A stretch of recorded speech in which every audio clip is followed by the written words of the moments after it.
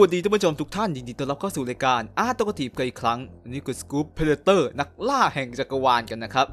ยังคงอยู่กับ ranking ของ Predator ยศต่างๆนะครับคราวนี้ก็เป็นเหล่ายศจาที่บรรลุนิติภาวะแล้วนะครับนั่นคือยศ Blooded นั่นเองนะครับ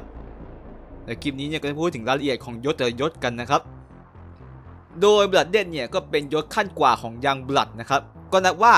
เป็นยศที่บรรลุนิติภาวะแล้วเรียกว่าเข้าสู่วัยผู้ใหญ่วัยทำงานแล้วนะครับ โดยปกติเนี่ยพวกมันจะทำเครื่องหมายไว้ว่าเออมันบรรลุจุดนี้แล้วนะครับ โดยเฉพาะยิ่งตอนล่าสายพันธุ์ Xenomorph นะครับหรือในบางแหล่งหรือในบาง clan เนี่ยก็สามารถบรรลุได้จาก Unblooded เป็น Blooded ได้เลย จากพฤติกรรม Blooding นะครับซึ่งเป็นพฤติกรรมนองเลือด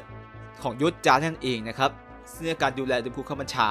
ซึ่งไอพฤติกรรม Blooding เนี่ยผมจะอธิบายทีหลังนะครับ เพราะว่าข้อมูลค่อนข้างจะยาวพอสมควรนะครับ แค่ไอ Blooding Ritual เนี่ย โดยรูปแบบพื้นฐานของยศนี้นะครับ พอผ่านยศ Blooded เนี่ยก็จะได้การยอมรับว่าเออเป็นผู้ใหญ่เต็มรูปแบบ ถือว่าบรรลุนิติภาวะ และเตรียมพร้อมที่จะออกล่าได้นะครับ ซึ่งแต่ละ clan แต่ละกลุ่มเนี่ยมันก็จะมีวิธีแตกต่างกันออกไปนะครับว่าอายุ Blooded เนี่ยจะถูกปฏิบัติยังไงมีวิธีล่ายังไงนะครับ แต่สิ่งเห็นชัดเจนว่ายศบลัดเดนเนี่ยจะรับสิทธิพิเศษมากกว่ายศที่ต่ำกว่า และยิ่งพอรวมกลุ่มโดยเฉพาะกลุ่มบลัดเดนที่อยู่ด้วยกันเนี่ยจะมีสิทธิพิเศษอย่างเช่น ได้รับห้องส่วนตัวบนยานอวกาศนะครับ เพราะว่ายานอวกาศของโยจา มันจะเป็นยานอวกาศโตๆใช่ไหมพวกบลัดเดนเนี่ยมันก็จะมีห้องเลยนะครับ แล้วก็สามารถมีสิทธิ์ที่สามารถจัดการต่อสู้ถึงตายได้ระหว่างเพเตอร์ด้วยกันนะครับ เพราะว่าPredator รุ่นก่อนนี้เนี่ยไม่สามารถจัด gladiator เพื่อสู้ถึงตายได้นะครับ แต่คราวนี้นี่คือแบบอะกะ hardcore เต็มที่สู้เอาถึงตายได้นะครับ รวมถึงมีสิทธิ์ในการเลือกผู้หญิง ที่จะมาดูแลลูกของมันในอนาคตด้วยนะครับ ก็เรียกว่ามาตามสไตล์นักล่าป่าเถื่อนเนาะได้ล่าเหยื่ออย่างสมใจ ได้มีห้องเป็นของตัวเอง สามารถสู้กับ Predator ด้วยกันเองถึงตาย แล้วก็เลือกเมียได้นะครับ โดยระดับทักษะของยศจา Blooded นะครับ โดยทั่วไปเนี่ย Blooded บางกลุ่มเนี่ยบางตัวเนี่ยก็จะมีทักษะโดดเด่นในแง่ของอาวุธที่ใช้นะครับ อย่างตัวไหนที่ใช้อ่า wrist blade อย่างชำนาญเนี่ยก็ถูกเรียกว่า Brawler นะครับ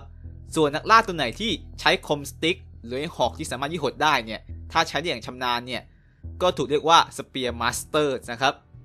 และที่สำคัญคือ ถ้าตัวไหนมีทักษะที่เก่งพอเนี่ย ตัวเอลเดอร์สามารถเลือกบลัดเดดตัวนั้นเนี่ย มาเป็นผู้ช่วยได้นะครับ แล้วแล้วก็ถือเป็นผู้สืบทอดหัวหน้าคนต่อไปด้วย ถ้าหัวหน้าตัวเก่าตายนะครับ โดยทักษะการต่อสู้ของบลัดเดดเนี่ย ก็แตกก็แตกต่างกันไปขึ้นอยู่กับประสบการณ์ล้วนๆนะครับ ก็โดยประมาณว่าพวกบลัดเดดที่เป็นบลัดเดดใหม่ๆเนี่ย ก็ไม่มีทางสู้เบลัดเดดที่มีประสบการณ์เก่าแก่ได้นะครับ ส่วนอาวุธหรืออุปกรณ์ในการต่อสู้ในการล่าเนี่ย ก็ถือว่าใช้อย่างเต็มที่เลยนะครับ ไม่มีการจำกัดสิทธิ์แล้วนะครับ รวมถึงจะเห็นในหนัง Predator 1 2 นะครับว่าบลัดเดดบางตัวเนี่ยไม่จำเป็นต้องรวมกลุ่มแล้ว บางตัวสามารถเป็นฟรีแลนซ์ได้นะครับ ออกล่าอิสระไปทั่วจักรวาลได้ ก็จะเห็นในตัว Joker Hunter แล้วก็ City Hunter นะครับ แต่ถึงแม้จะเป็นผู้ใหญ่แล้ว ก็ใช่ว่าจะไม่สามารถฝึกฝนต่อได้ ถึงแม้จะดูไม่จะเป็นเท่าไหร่ แต่ถ้าบลัดเดดตัวนั้นเนี่ยมีเส้นสายเป็นลูกของเพเตอร์ที่เก่าแก่หรือแบบมีชื่อเสียงยังไงก็ตามเนี่ยบลัดเดดตัวเนี่ยก็ยังสามารถได้รับการฝึกฝนจากนักล่าที่เกษียณแล้วนะครับ หรือแบบการฝึกเนี่ย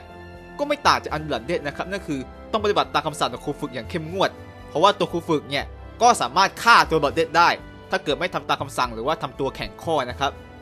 อย่างจะมีกรณีของครูฝึกนักล่าตัวหนึ่งเนี่ยที่ครูแบบเดือดสองตัวว่าห้ามหนี ถ้าฝึกครั้งนี้ห้ามหนีห้ามหนีข้าจะฆ่าแกแล้วตัดหัวกะโหลกไปส่งพ่อแกเลยอะไรแบบนั้นนะครับเรียกว่าครูสุดๆเลยนะครับโดยรูปแบบของม้านะครับหรือสัญลัในการบรรลุติภาวะ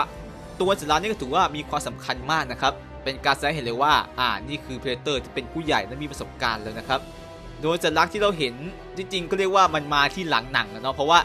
ใน Predator 1กับ2เนี่ยเขาก็ไม่เจาะจงอะไรเกี่ยวกับลอง Predator มากนัก ถึงแม้จะเป็น Predator ยศ Blooded เนี่ยแต่เราก็ไม่เห็นตัวสัญลักษณ์บนตัว Predator 2ตัวแรกเนาะเพราะในเรื่องเนี่ยมันเพิ่งมามีทีหลังนะครับในเอเลียนปะทะ Predator เขาจึงมีการแถในเรื่องเลยว่าอะสัญลักษณ์เนี่ยมีหลายรูปแบบนะครับไม่จะเป็นจะเป็นรูปแบบในหนังก็ได้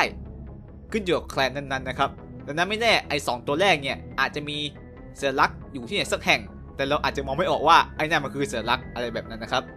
โดยตัวที่เป็น Blooded เนี่ยเรียกว่ามีเยอะมากๆนะครับทั้งหนังทั้งเกมทั้ง comic ทั้งนิยายดังนั้นผมขอพูดถึงหนังอย่างเดียวนะครับในหนังที่บอกไปข้างต้นว่าอะมี Jungle Hunter ตัวแรกเลยนะครับที่ไป fight กับอาร์โนชวาชเนเกอร์ตัวนี้เรียกว่าก็น่าจะเก่งแหละ แต่เพราะเป็นหนังภาคแรกอาวุธมันเลยน้อยนะครับ มันมีเพียงแค่ wrist blade กับ plasma caster เนาะเรียกว่ามีอาวุธไม่กี่อย่างนะครับ และพอมีหนังภาคต่อเขาต้องอัปเกรดอาวุธใช่ไหมนั่นคือตัว City Hunter ที่มีอาวุธมากขึ้น ทั้งมี combistick มี ปืนตะข่ายมี smart disc อะไรแบบนั้นนะครับ แล้วก็ตอนท้ายภาค2ตอนที่ City Hunter ตายเนี่ย ก็จะมี Predator มากมายโผล่มา มีตัว Elder ผมมาตัวหนึ่งซึ่งดูเหมือนว่าหนึ่งในนั้นเนี่ย จะมี Blooded อยู่ตัวหนึ่งด้วย นั่นคือตัว Warrior นะครับ ที่เหลือก็น่าจะเป็น Predator ที่ยังไม่บรรลุนิติภาวะนะครับส่วนในเอเลียนปะทะ Predator ก็มีนั่นคือตัว Scar เองนะครับ ตอนแรกแกยังไม่บรรลุไงพอแกฆ่าซินนามอฟตัวแรกได้ อะ แกถึงเป็นบลัดเดอย่างเต็มรูปแบบ ถึงแม้จะเป็นได้ไม่นานก็มองเท่งไปนะครับ ส่วนในหนัง Predator ภาค 3 ก็จะมี Crucify Predator ก็คือ Predator โดนตรึงอยู่นะครับ อันนั้นคือ Blood Dead แล้ว ส่วนไอ้สามหน่อนั่นน่ะไอ้ Berserker คือหัวหน้า แต่ไอ้สองหน่อข้างหลังเนี่ย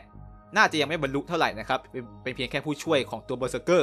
รวมถึง Predator หญิงที่โด่งดังอย่าง Big Mama นะครับ ที่รูปร่างเธอนั้นไม่ดูไม่เหมือนผู้หญิงเลยสักติดเดียวนะครับแล้วก็ไม่ได้มีแค่ตัว Predator นะครับมีมนุษย์ด้วย ที่ได้รับการยอมรับจาก Predator เป็น Blooded สองคนด้วยกัน และเป็นหญิงสาวทั้งคู่ด้วยนะครับเรียกว่าผู้ชายไม่เป็นนะผู้หญิงเป็นนะครับนั่นคือตัวละครผมพูดบ่อยมากคิดว่าเก่านะครับยังไม่มีโอกาสได้เล่าเรื่องราวของเธอเลยนั่นคือตัวละครมาจิโกะโนกุจินะครับเป็นหญิงสาวญี่ปุ่นที่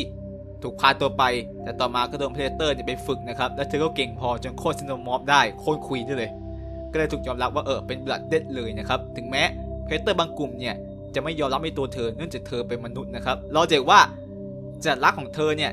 ตรงหน้าผากเนี่ยจะแตกต่างจากสัญลักษณ์ของ Predator ในหนังเนาะใน comic เนี่ยจะเป็นรูปสายฟ้าเลยนะครับซึ่งถือว่าเป็นสัญลักษณ์อย่างเป็นทางการของ Predator นอกจักรวาลหนังนะครับ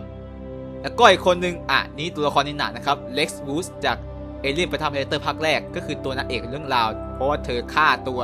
Xenomorph ได้สองสามตัวนะครับตัว Scar ก็เลยอะยอมรับนะครับฝากสัญลักษณ์ไว้ที่ตัวเธอ และก็ทำให้ตัว Elder ที่มารับตัวศพที่หลังเนี่ยยอมรับเป็นตัวเธอเลยนะครับและมอบอาวุธให้ถึงแม้เธอจะเป็นมนุษย์ก็ตามน้อยวันนี้ก็มีธรรมเนียมมันเนาะต่อให้เธอไม่ใช่เผ่าพันธุ์มัน แต่ถ้ายศจาด้วยการยอมรับเนี่ยก็ถือว่าเป็นพวกเดียวกันได้นะครับซึ่งนี่ก็เป็นเรื่องราวของ Blooded นะครับยศที่ถือว่าบรรลุนิติภาวะเป็นฟรีแลนซ์นักล่าเลยนะครับคราวนี้แรงต่อไปเนี่ยก็จะสูงขึ้นเรื่อยๆนะครับ มีแต่ยศที่เป็นเหมือนยศหัวหน้ายศผู้นำยศราชาคลาริเดอร์อะไรแบบนั้นนะครับ ก็ติดตามได้นะครับ ถ้าใครชอบคลิปนี้เนี่ยก็ลืมกดไลค์กดแชร์กด subscribe ด้วยนะครับสำหรับวันนี้ก็ขอตัวลาไปก่อน สวัสดีครับ